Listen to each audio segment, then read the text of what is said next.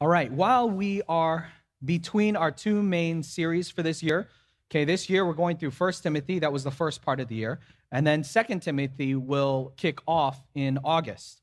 So in between First and Second Timothy, we thought it would be a good opportunity for us to take a little bit of a breather, a little bit of a break, uh, allow you guys to explore other, you know, flip to other portions of Scripture. And so far, we've heard from Psalm 37, we've heard from the Gospel of Luke, um, we've heard from, uh, or we're going to hear from Gospel of Luke, First Peter as well. And during this COVID 19 season, I think, I think the word that we always hear, the words we hear fluid and we hear unprecedented.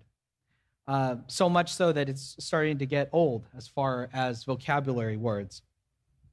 But we've all learned how to navigate life in a different way. We've learned how to do things remotely. And at the advice of the scientific community and public health officials, we pivoted from life in person to life online, to life face to face to life screen to screen. Many of us may have doubled down on food delivery services like your Grubhub or your DoorDash We've no doubt increased our Amazon.com traffic and our purchases, which just is so easy at the click of a button. Our children have learned how to use Zoom, uh, complete with texting privately in chat, and I guess, uh, you know, putting all of these funny smiley faces everywhere. For the most part, people have adapted to the challenges of online education. But the move to online interaction is not just throughout our country, it was also here at our church. We held fellowship groups, small groups, Sunday school meetings through Zoom. We had church members meeting on Zoom, which, by the way, resulted in one of the most highest attended members meetings. We learned how to find our church YouTube channel, even though many of us didn't know we had a YouTube channel to begin with. Interestingly, I think we had several. One of them was like just to test things out. We learned how to produce a live stream back there. If you notice in the back there, not only there's the video, is there a video camera, there's a whole nother desk back there. And actually, we had to buy, get this, we had to buy a gaming laptop for our church. And lest you gamers out there think that it's for games, it's actually for live stream because we needed a discrete graphics card in order to uh, do all of this. We learned how to watch church service instead of coming to church service. And some of us got really comfortable sitting on the couch at home, nice cup of coffee in hand, in our pajamas. And somehow, during this process of pivoting from seeing each other face to face to seeing each other screen to screen, I think there was a question that is lurking underneath it. That maybe you're thinking about even now as I'm speaking up here. Is this the future of church? Is online the way to go? Higher education has been talking about this for a long time. Many colleges, universities, and those kinds of institutions have been looking into this whole online education component, equipping their classrooms with high quality video cameras that you know can be moved remotely figuring out how to do that live stream how to record it and then how to present it to people so that they can take online classes. Is this is this the new normal? Is this what should we what we should expect in the future? Is online church here forever? And perhaps the deeper question is should it be?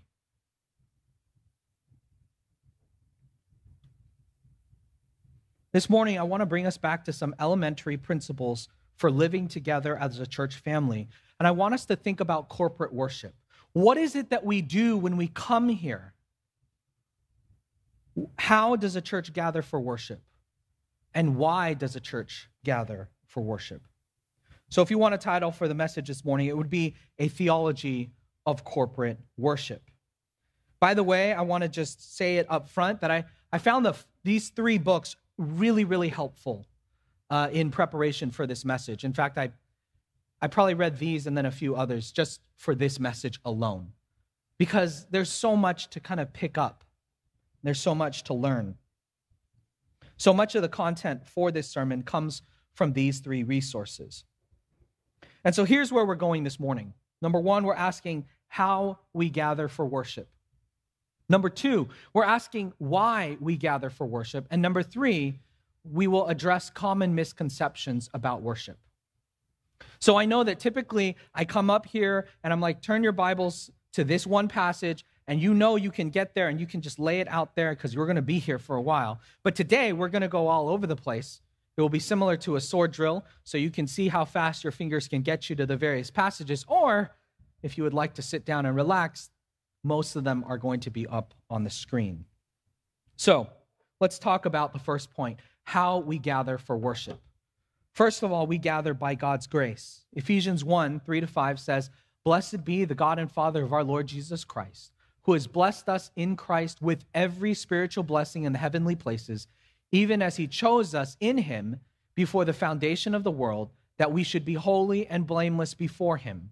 In love, he predestined us for adoption to himself as sons through Jesus Christ, according to the purpose of his will. Now, that, that sentence goes on because it's a really long run on sentence, okay?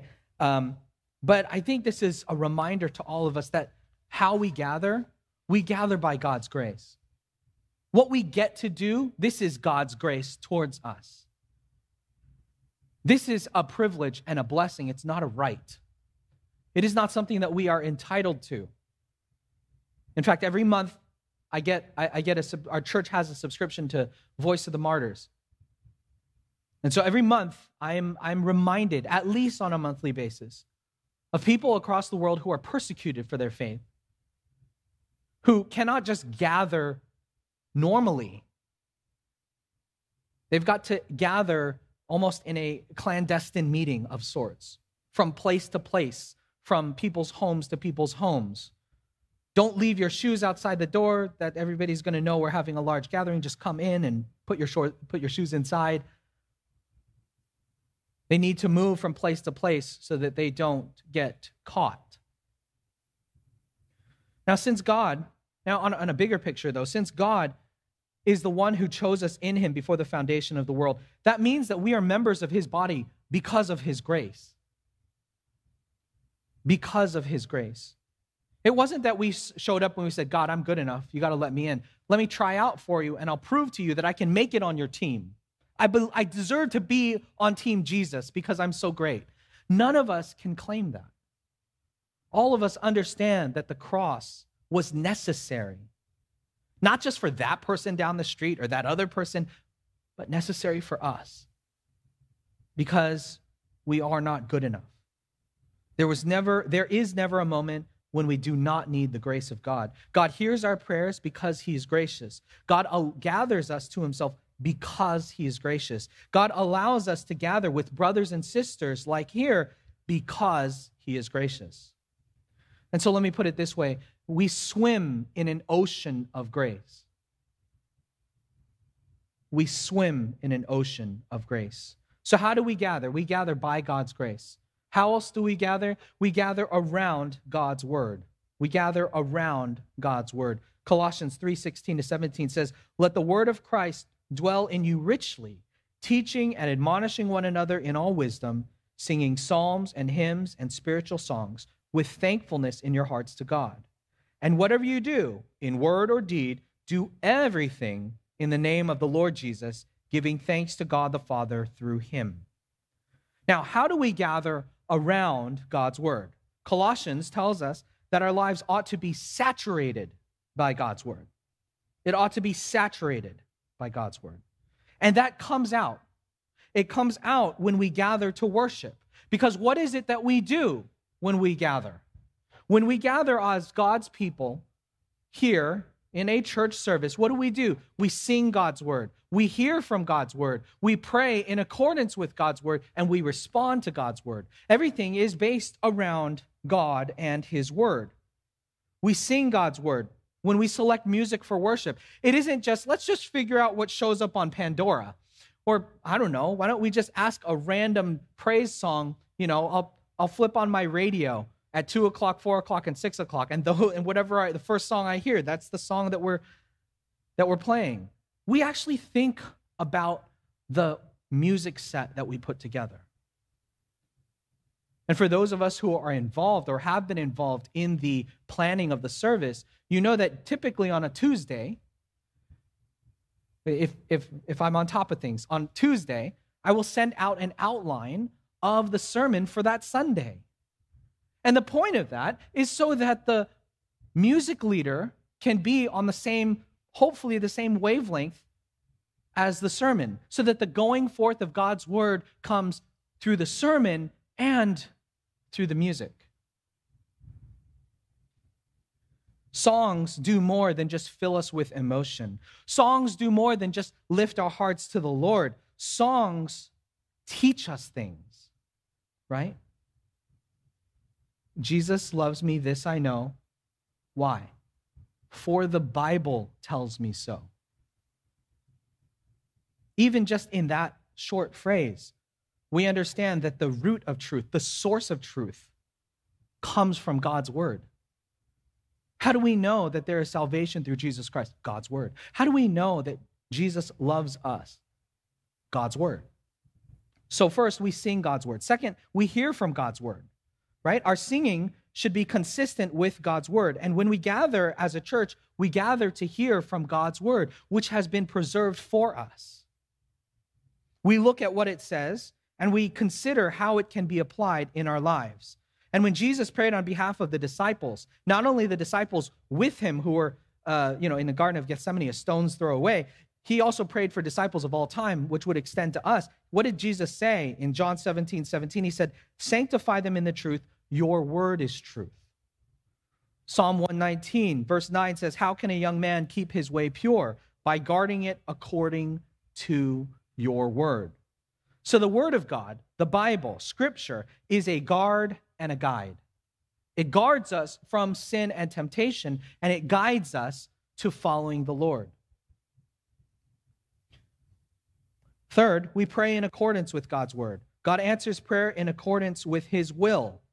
And though we may not know God's will in every situation, we know that God is working all things for His good purposes. 1 John 5:14 says, And this is the confidence that we have toward him, that if we ask anything according to his will, he hears us. And fourth and finally, we respond to God's word, right? Because it is not just enough to just listen and gather information as if somehow we were preparing for a lifelong Bible Jeopardy game. James 1:22 says, "Be doers of the word and not hearers only, deceiving yourselves." It is important that we are students of God's word, but we learn and we know God's word in order to live in God's way. This is not learning the Bible just so you just so you know a lot of Bible facts. This is learning for living, which I, I believe is the motto behind uh, Truth for Life, Alistair Begg's radio ministry, where the learning is for living. Back in 2012, um, I picked up a book that was written to help pastors maintain their own spiritual health. It was written by Paul David Tripp, and it was tremendously helpful for my personal walk. It was called Dangerous Calling. It was an orange book, and it had like this hazard sign, and it says Dangerous Calling, confronting the need. I think it's I think the subtitle is Confronting the Unique Challenges of Pastoral Ministry. On the back cover of that book, there are endorsements. And again, if you want to promote a book, you, you, you find the, the biggest name you can and put their name to associate with your name so that somehow by association people will think about reading your book. There were five endorsements from well known pastors in the United States of America. And as of today, two of them had to step down from ministry due to moral failure. And one of them says that he no longer believes in Jesus anymore. Just because you know God's word doesn't mean that you necessarily respond to it. right? Knowing God's word without responding deludes us into thinking that we are holy just by virtue of knowledge. But we are holy not because we know holy things, but because we know it and we live according to it. So, how do we gather? How do we gather? Church, we gather by God's grace. We gather around God's word. And thirdly, we gather for God's glory. Colossians 3:16, which I read a little bit before, it says that God's word ought to permeate our lives and our worship. Okay, and verse 17 says, "And whatever you do in word or deed, do everything in the name of the Lord Jesus, giving thanks to God the Father through him." In other words, we are to do everything for the glory and honor of God. So instead of a WWJD bracelet, it would say WWGG. What would glorify God? That, that's how we ought to think about it. In deciding what we do on a day to day throughout your Monday to Friday, what would glorify God? Okay. And fourth, we gather. How do we gather? We gather with appropriate attitudes. With appropriate attitudes. God sent his one and only Son, Jesus Christ, into the world to save us from the penalty of sin and to deliver us into his kingdom. And because of our adoption into God's family, we can call God our Heavenly Father. And God beckons us to himself to commune with him in prayer and to pour out our hearts to him. God invites us to cast all our anxieties upon him because he cares for us. So God is our heavenly Father, but we must remember that God is still God. He is the creator and we are his creation. Right? We want to remember there is a distinction between God, our creator, and us, his creation. And so when we gather for corporate worship, when we gather for corporate worship, we should come with appropriate attitudes. Here are three, all starting with the letter G, thanks to, thanks to the writer Matt Merker gravity, gladness, and gratitude. See, I'm not the only one who likes to alliterate things. So, gravity, gladness, and gratitude. Hebrews 12, verses 28 to 29 says, Therefore, let us be grateful for receiving a kingdom that cannot be shaken and thus, let us offer to God acceptable worship with reverence and awe, for our God is a consuming fire. Here at Laguna, we gather once a month for Lord's Supper.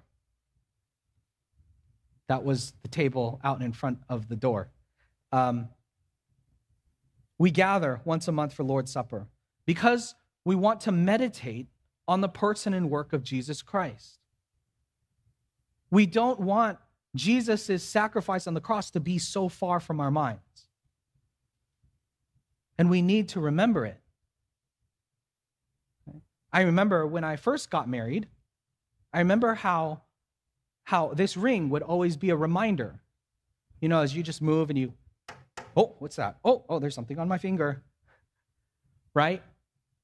You're, you're washing dishes and it's easy to slip off because of the soap. And it's, it's this reminder that I am married and that God is gracious to a sinner like me. And in the same way, Lord's Supper is a reminder that God is gracious to sinners such as us, such as. And what does that mean? That means that our corporate worship should not be characterized by an endless list of jokes, just idle chatter or trivial banter. We did not come to hear a comedy hour. And if you did, you need a refund. But look, that we, we come with a degree of, of, of, of gravity, of sobriety, right? We come because we understand that we are coming to worship God who loved us so much that he sent and sacrificed his one and only Son. That we enjoy grace because of someone's sacrifice that the only contribution to our salvation was the sin that made it necessary. Now, does that mean we should never smile when we're at church? Does that mean we need to walk in with our eyes perpetually looking at the floor and just kind of go, oh, hi, how are, how are you doing? Oh, you have a good week? Oh, good, I'm glad. You know, it's not like we're, this is not, uh, uh, this is not that kind of gathering. But we don't come with this sort of flippant attitude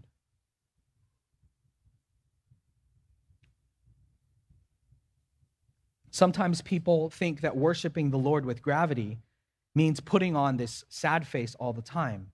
But remember that the opposite of gravity would be levity. Okay? Which means that we would take Christ's death for granted. And may it never be said that those who are in Christ take the death of Christ for granted. That is why when we gather for the Lord's Supper, we eschew, we, we put away the sins. Because may it never be that we continue to hold on to the sin that put Jesus on the cross. Because that would not be approaching the Lord's table with the appropriate attitude of gravity.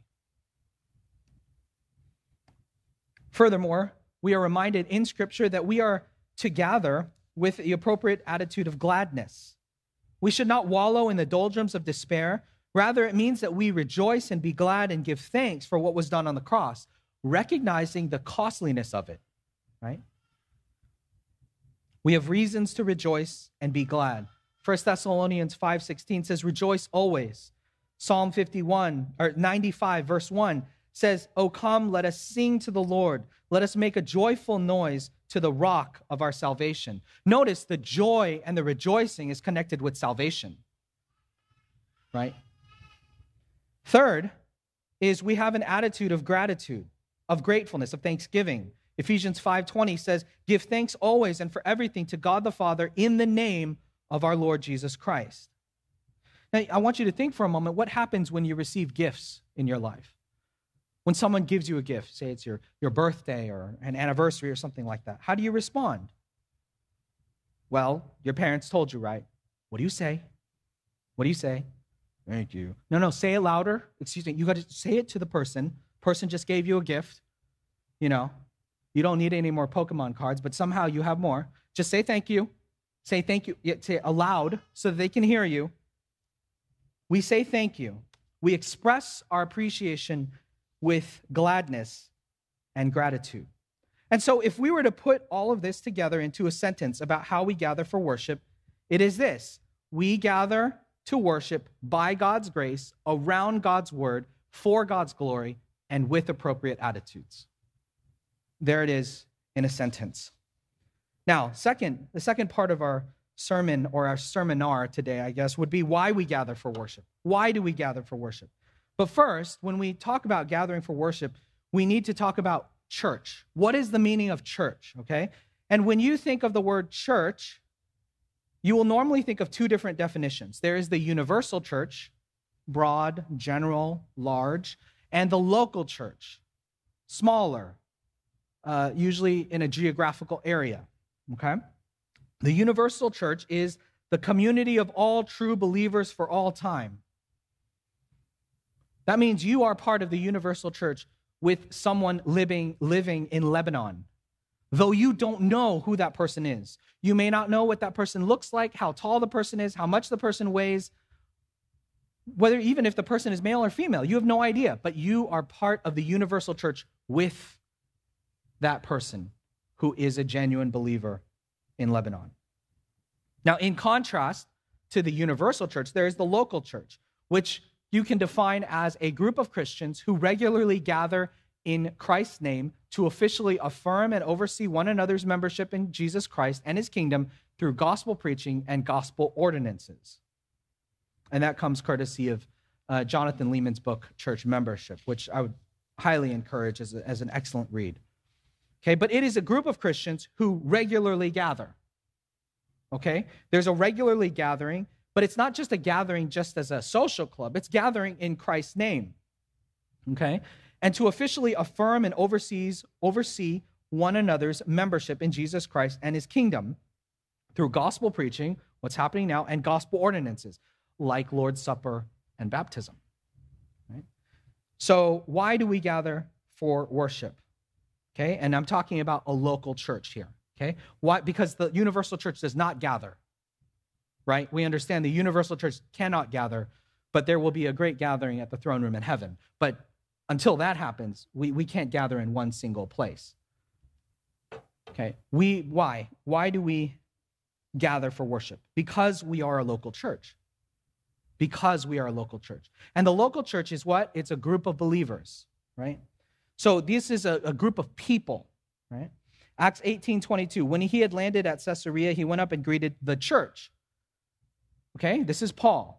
He did not walk up to the building and shake hands with the building. He greeted the church, the people who are known as the church, right? Romans 16, verse 5a. Greet also the church in the church in their house, right?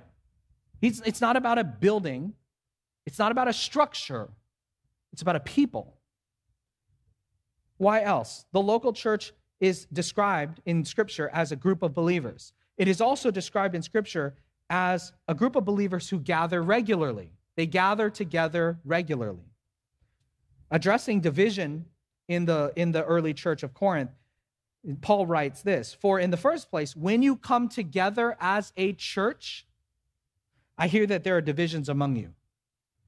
So even from its infancy, even from its beginning, the New Testament church gathered regularly together, right?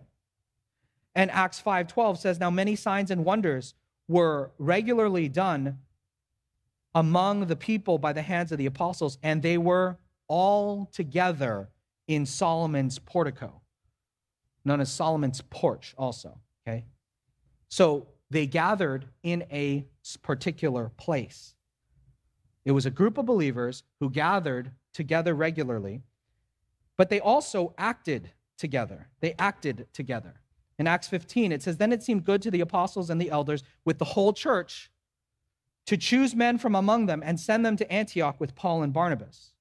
So this is the whole church gathering and making a decision together. Does that kind of sound like a members' meeting? We need to fix the roof. And so at Laguna, the church gathered together in order to make a decision to fix the roof, lest it cause additional harm. Right? 1 Corinthians 5:13, purge the evil person from among you. And this was this was a man who had been having relations with his stepmother, and the church wanted to brag to, to the world and said, Look, we're so accepting. We, we, we even love this person. But the person who was engaged in this immorality was not wanting to repent. And so Paul said, that's not, that's not right. That is a gross perversion. This man should not be sleeping with his stepmother. You need to confront that and address that because apparently this guy does not want to turn away from doing what is sinful. You need to expel or purge the evil person from among you. Now, what else? How, how else uh, do we understand the local church? The local church is an assembly. It is an assembly. And this is something that you've probably haven't heard before. Um, this requires a refined understanding of the word church as it is used in Scripture. Okay? Now, we may think of different things when we hear the word church. Some people think of church as the building or the structure, right? Other people think of church in terms of social ramifications, as if it's like a social club. I'm part of that country club. Oh, okay, I'm part of the church.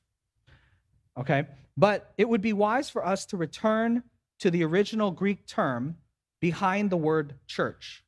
What is the Greek term that gets translated as church? In the New Testament, the English word church is a translation of the Greek word ekklesia. Ekklesia. And this term, ekklesia, refers to an assembly of people an assembly of people. When the Jewish people translated their Old Testament from Hebrew to Greek, they use this term assembly as a translation of the Hebrew term assembly or congregation. Now, how does this idea help us understand the importance of gathering as a church? The idea of church flows naturally out of the meaning of the word ecclesia. The Greek word ecclesia means an assembly, a gathering, a congregation, a community. Ecclesia is distinct from another group, from another Greek word called demos, okay, which means people. So assembly is a group of people gathered, but demos is just people. Our, word, our English words democracy and demography have that Greek word demos. Okay? Now, when people gather for an express purpose, they become an ecclesia. So a demos uh, is this is a bunch of the dots. But when they gather for an express intended purpose, when they assemble for a purpose, they become an assembly, they become an ecclesia. So, in other words, when we gather as God's people, we become a visible representation of God's kingdom on earth. There is something genuinely special that takes place when we gather for worship because it is a preview and a foretaste of heaven.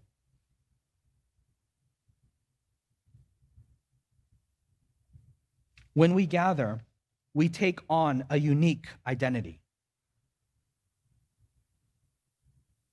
Now, let me expound upon this nuance with an illustration from Merker's book, Corporate Worship. It's that small little light blue, sky blue book that I showed you earlier.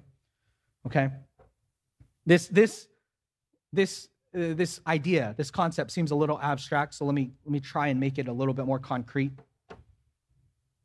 In our country, we've got uh, the Supreme Court of the United States. And there are nine Supreme Court justices. And as individuals, each justice is a judge in his or her own right. When they are studying in their office with that staff doing uh, legal research, they are still judges. When they're out shopping for groceries, they are still judges. When they walk down the halls, uh, when they walk down the halls, they are still judges. But when these nine Supreme Court justices sit together, when they come together and they summon the court, and the court is in session, these nine individual justices become the Supreme Court of the United States. Though they are clearly judges by themselves, when they come together, they become the Supreme Court of the United States. They take on a special, unique corporate identity. In the same way, every person who believes in Jesus as Lord and Savior is a Christian. In the home and outside the home, that person is a Christian. But when Christians gather together in a local assembly, they take on a new unique corporate identity known as the church. When we take communion together, which we will do after this message, we are proclaiming Jesus Christ as Savior. And we are doing it as a church. When we sing praises, we are proclaiming God's greatness, great are you, Lord, as a church. When we listen to the word of God together, we are all submitting to God's word as a church. So, why do we gather? Because this is what it means to be a local church. Now, you may have been feeling this in our hiatus, during our hiatus, during our break from meeting in person, face to face. You may have felt like, oh, I feel like a, a severed hand away from the body. I don't feel, I feel like something's off. And that's right. Because this is what it means to be a local church, to be an ecclesia. We are more than just a, a, a, random assortment of people. We are a people gathered for a specific purpose. We are gathered by Christ for God's glory and we are known as a local church. So, why else do we gather? We gather because we are a local church, and that's part of the definition, but we also gather because we are a family. Right? In love, he predestined us for adoption to himself as sons through Jesus Christ according to the purpose of his will. Yes, personal salvation is always important. There's not a group group salvation plan, okay? There's an it must be individual. But once that individual has become a Christian, that individual is grafted in, is adopted into a new family. So we are family. At the moment of salvation, God adopts you into his family. And yes, it's the universal church family, but y'all don't know people in Lebanon. You know people here in a local church setting. We'll meet them later. We'll meet those people who are living across the world, across the ocean, and who lived at different, different times. We will meet them in heaven. But for now, we know each other here. So, why do we gather? Because we are a local church, because we are a family, because we love and care for each other. And this is the one that gets trotted out all the time, right? Hebrews 10 24. And let us consider how to stir up one another to love and good works, not neglecting to meet together as is the habit of some, but encouraging one another, and all the more as you see the day drawing near. 1 Corinthians 14, verse 12 also adds So with yourselves, since you are eager for manifestations of the Spirit, strive to excel in building up the church. Why do we gather for worship? Because we love and care for each other. How do you love and care for people you don't know because you haven't met them yet here? How do you love and care for people that you don't ever see or you don't ever talk to? We don't have everyone's cell phone numbers. We don't have everyone's contact information. And sometimes the way that we begin that is by seeing each other at church and asking, hey, would you like to get together for coffee? How are you doing? Would your family like to come over? That's, that's like natural and normal. And that's the way that we would get to the point where we would encourage one another. Why else do we gather as a church? Fourth, because we are a witness to the world. Matthew 5, 14 to 16 says, You are the light of the world. A city set on a hill cannot be hidden, nor do people light a lamp and put it under a basket, but on a stand, and it gives light to all in the house. In the same way, let your light shine before others so that they may see your good works and give glory to your Father who is in heaven. Now, don't get me wrong. Is it convenient to come to church? No. no. It's much more convenient to, you know, just like sit down on the couch and like flip on the TV because, well, that's how we unwind, right? That's how we relax. What requires the least amount of work to do on a Sunday morning? I'd say sleeping.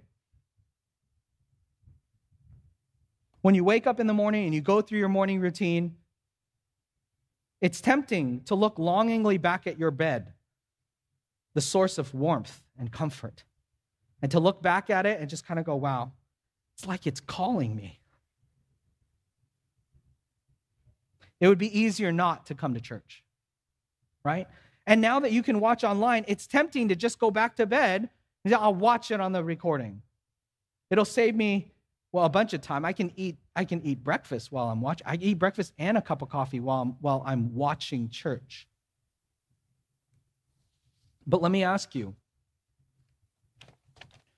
now that we have been given kind of clearance to go out into society, to go into stores, to resume kind of more of a closer to normal life, depending on your vaccination status, I mean, what kind of testimony does that leave for our neighbors? What does that communicate to other people about our priorities? And what are we teaching the next generation about the importance of church? It is easier, so much easier, to just stay home and watch online.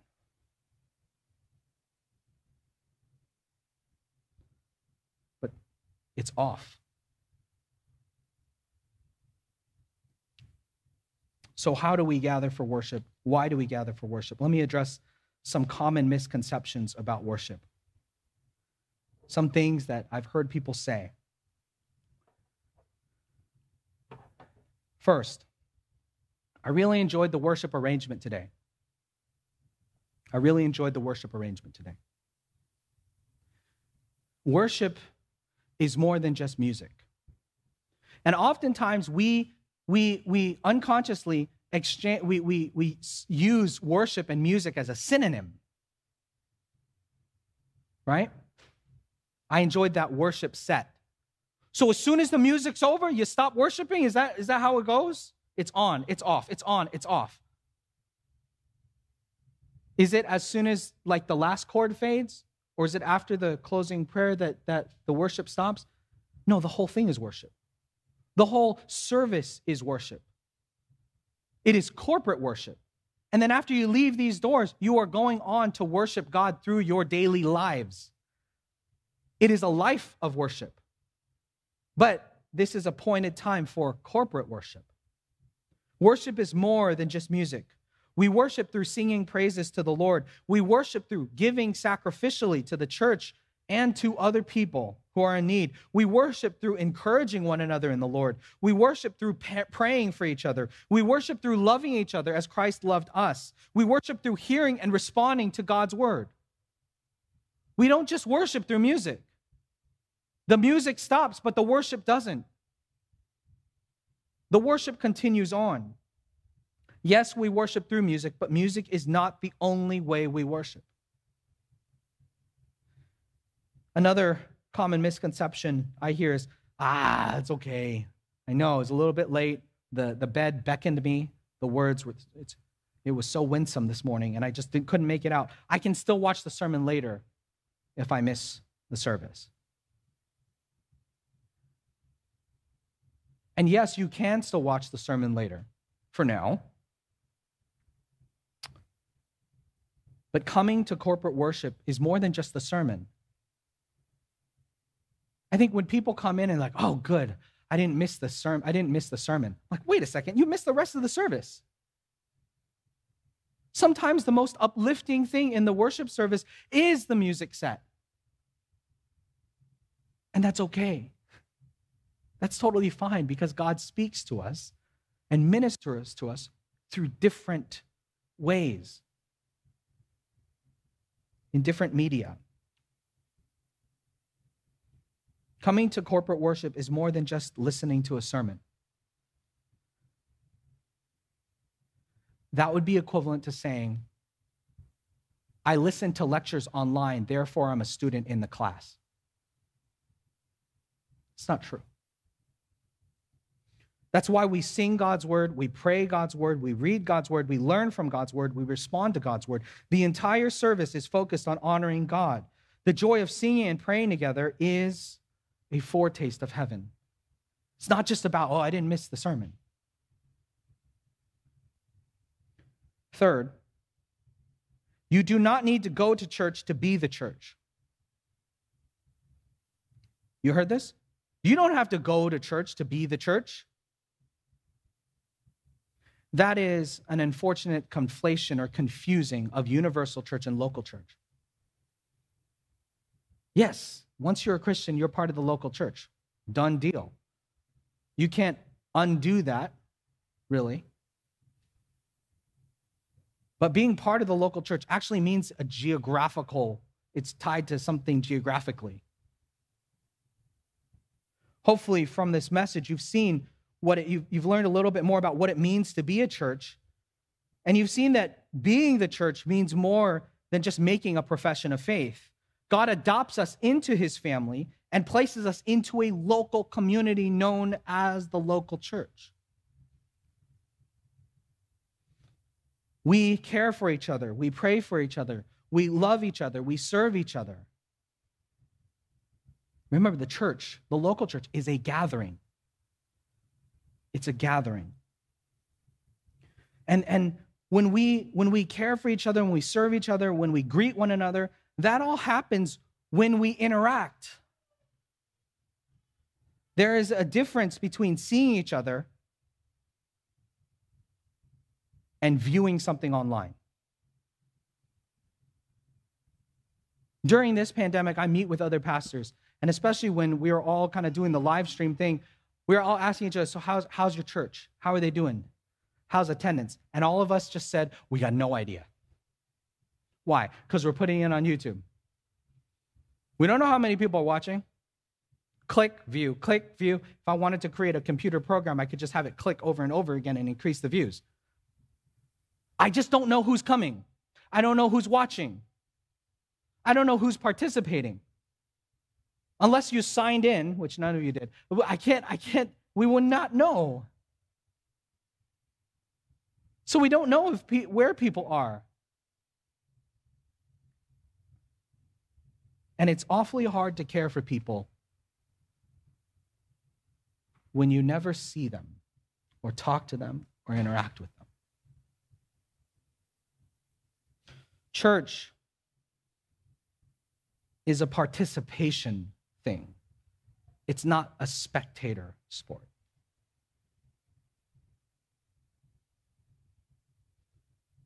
C.H. Spurgeon, one of the greatest preachers uh, of all time, he was always full of these pithy and memorable illustrations. And, and he said once, he said, he said, a lot of Christians out there, they're content with being bricks. Bricks.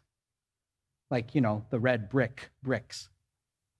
I said, and I see Christians out there and they're just bricks scattered on the street.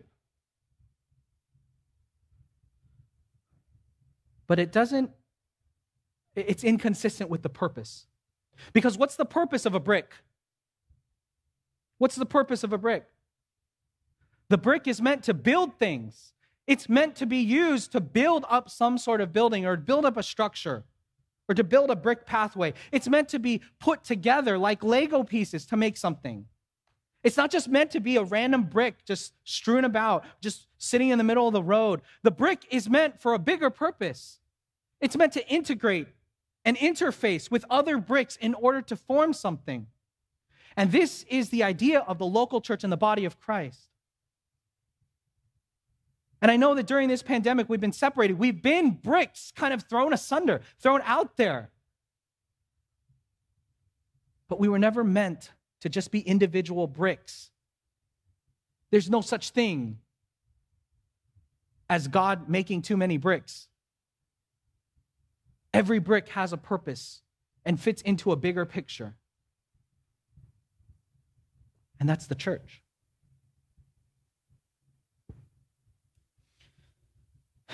I've heard uh, some people, I'm talking to you on the live stream. I've heard some from some people who are, are saying, you know, Pastor, we'd like to come back, but it's so hard with the kids. I get it. I live it. Okay? And my wife's a saint. So, are, so is anyone who's in Christ. But, but I especially thank God for her, right? Okay? And some people have said, well, we used to have children's ministry during first hour. We used to have a children's worship service. They'd, they'd be here for a little bit and then they'd be dismissed after the worship through music, right? And then, you know, we'd also have nursery and also have these other things. And, and, and people have asked, hey, so pastor, you know, they've asked leaders, so, so when's the church bringing it back? And I would love just to respond to that now and saying, when's the church going to do it? Do you think we outsource this to India? We are the church. So the question is when can we bring this back? Because the answer is not because we don't want to. The answer is not because, well, we just figure parents need to be sanctified a little bit more. Let's let them watch their kids. Well, we just want them to be more grateful for the children's workers, so let's let them sweat it out a little bit longer. No, the reason is because we don't have enough people to help right now. So instead of asking, when is the church going to bring that back? How about we have people sign up and help? And just say, we want to have these things back. Let's volunteer. Let's help bring it together.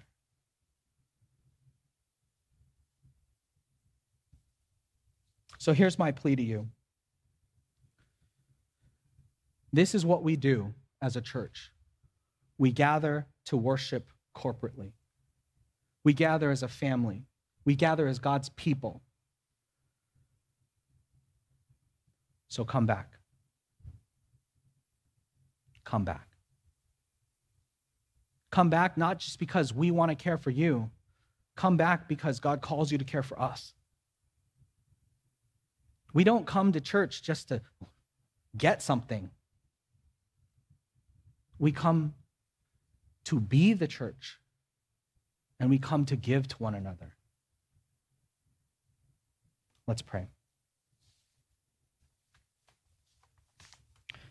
Our dear Heavenly Father, we thank you for your word and that it speaks to us from larger passages, but also from a bunch of different passages as we piece it together to understand what you call the church to be. And so gathering together is part of being the church. Lord, we pray that you would encourage those who are still watching from home, that they would take the steps to come back so that we can be the church together, so that they can encourage others, and so that they can be encouraged by us. We pray in all these things for your grace and your mercy, that you would convict us so that we might come back once again as your people to sing your praises together in one place. And in your son's name we pray. Amen.